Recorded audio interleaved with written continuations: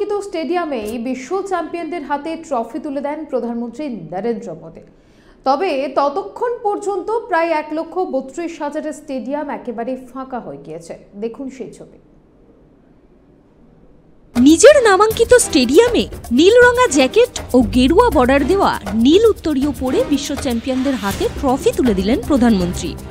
শুধু কাপটা ভারতের বদলে উঠল অস্ট্রেলিয়ার হাতে। ততক্ষণে অবশ্য এক লক্ষ বত্রিশ হাজারের স্টেডিয়াম প্রায় ফাঁকা হয়ে গিয়েছে। ভারতের হার প্রায় নিশ্চিত হওয়ার পর থেকেই ফাঁকা হতে শুরু করেছিল স্টেডিয়াম। বাইরে বেরিয়ে যাচ্ছিলেন ভারতীয় সমর্থকেরা। খেলা যখন শেষ হলো, তখন স্টেডিয়াম অনেকটাই ফাঁকা। যারা ছিলেন, তাদের মধ্যে অনেকে পুরস্কার অনুষ্ঠান পর্যন্ত অপেক্ষা করেননি। এদিকে খেলা শেষ হওয়ার আগেই স্টেডিয়ামে এসে উপস্থিত হন প্রধানমন্ত্রী ও কেন্দ্রীয় স্বরাষ্ট্রমন্ত্রী অমিত শাহ। খেলা শেষে অস্ট্রেলীয় অধিনায়ক প্যাট কামিন্সের হাতে ট্রফি তুলে দেওয়ার জন্য সঞ্চালক রবি শাস্ত্রী প্রধানমন্ত্রীকে সেখানে আমন্ত্রণ জানান।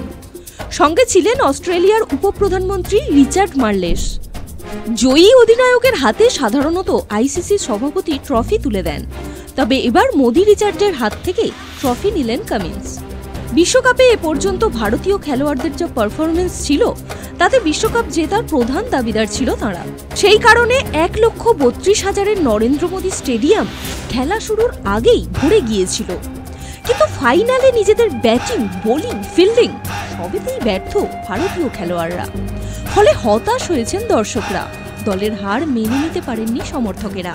তাই খেলা শেষ হওয়ার আগে ফাঁকা হয়েছে মাঠ। তবে ম্যাচ শেষে ভারতীয় ক্রিকেটারদের প্রশংসা করে নিজের এক্স হ্যান্ডেলে মোদি লেখেন, গোটা প্রতিযোগিতা ধরে তোমাদের প্রতিভা ও অধ্যাবসায়ের প্রশংসা করতে হয়। তোমরা খুব ভালো ক্রিকেট খেলেছো, দেশকে গর্বিত করেছ। আমরা তোমাদের পাশে আছি আর থাকব। স্পোর্টস ব্যুরো, নিউজ বর্তমান।